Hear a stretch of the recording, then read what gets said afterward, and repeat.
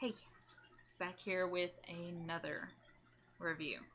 Um, this time it's not so much on one book as it is a set or a genre of books.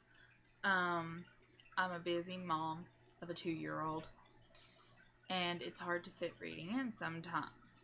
But if you're like me and you absolutely have to read or else you go insane, um, what you might want to consider doing is if you're a busy single parent is picking up an anthology.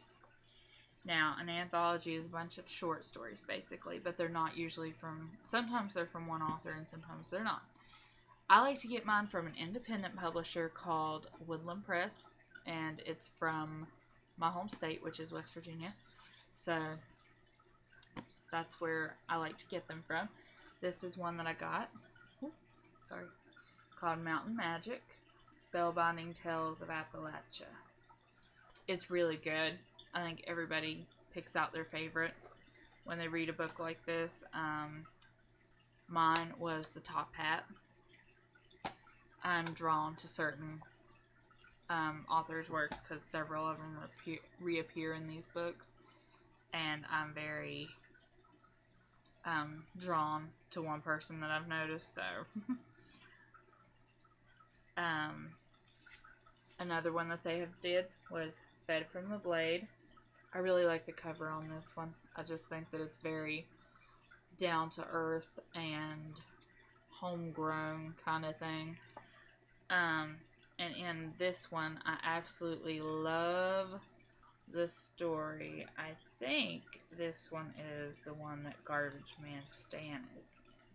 Oh yes, Garbage Man Stan by Frank on page 23.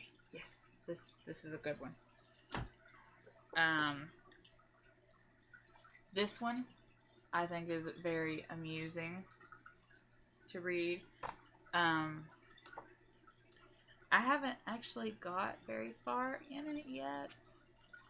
Um, but I think that I did like the Rock Ridge Ringer, which is the first story in the book.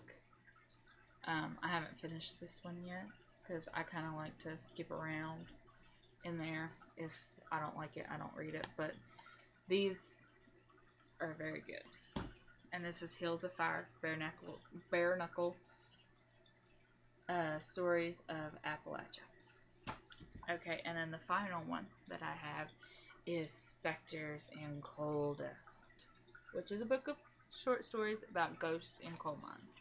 And since that is my state's main occupation, it's very near and dear to my heart because my husband's a coal miner my daddy's a coal miner, so that's just what I do. Um, I think that it's a very good book. Um, in this one, I believe that my favorite one was Old Men on Porches by Steve Rasnic Tem. And it's very good. So, and like I said, if you're really, really busy, read these because, for one, you're supporting local writers, which is always a good thing, and local businesses. And for another, like I said, they're short. You can squeeze them in at nap time or when your child is destroying your house that you just cleaned. Um, so pick up an anthology, a local one. See if you have any local presses in your state and look for anthologies and support them because it helps writers get off their feet and it helps um, local businesses, which is always good. And you know, you'll get some stories that you can fit in that are relatively short. So you can squeeze them in in like 10 minutes or so, most of them. So, yeah, read anthologies.